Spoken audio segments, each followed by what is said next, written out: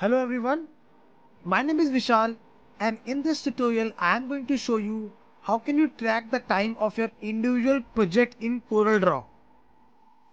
Most of the time designers work on a multiple projects at the same time and unable to calculate the exact time of a project. With the help of this tutorial, we can easily identify and track the time of the project. So let's jump into CorelDRAW. So by default, you will not find the option project timer. You have to enable the option. So for that, you need to right click on the property bar and you will find project timer. When you click on the pro project timer, it will appear over here.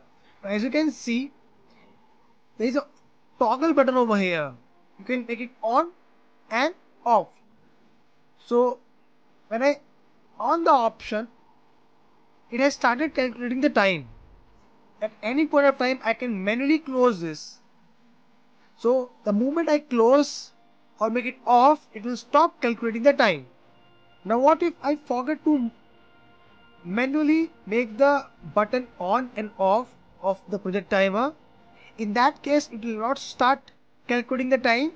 So with the help of the setting option, it will start calculating it automatically.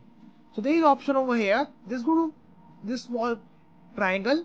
When you click, it will open the small window like this. Now click on the setting button option over here. And now we can define when this timer should start. So whenever your document is open, it will automatically start tracking the time. Whenever you switch to a new document, again, it will start calculating the time of the new document, new project. And whenever the project is open and activated, it will start calculating the time. Now over here, you can define the inactivity tolerance. Just for example, if you are not active on your project, on your file for 15 minutes, it will stop over there. You can define the time uh, from here. I can make it 5 minutes. That is completely up to us. Now let's discuss when the timer will get paused. So every time when you minimize or you are out of CorelDRAW, it will stop the timer over there. Whenever you switch to another document, it will pause the timer and it will enable the second project timer.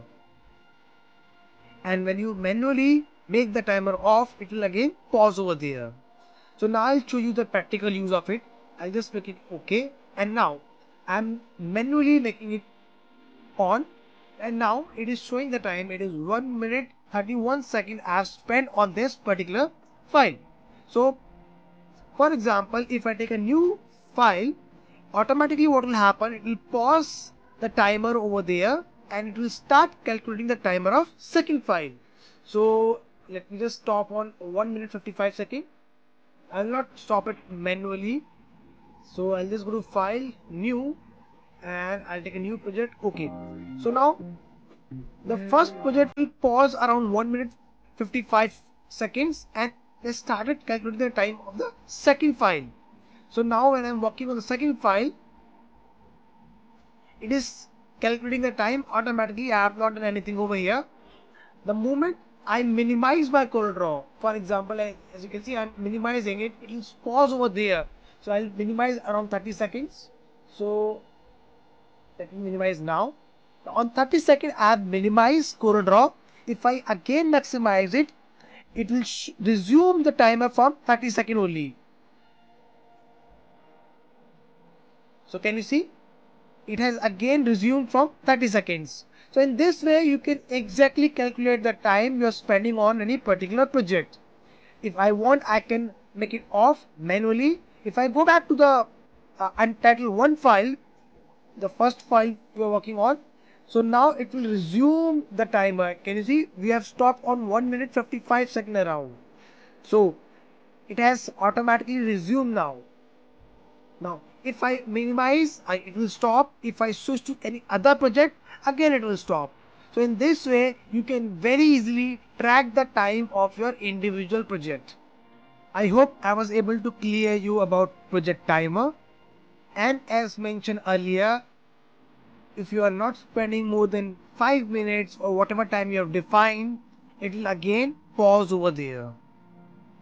If you have any queries, you can put it in the comment box. I will try to revert as early as possible. Thank you for watching.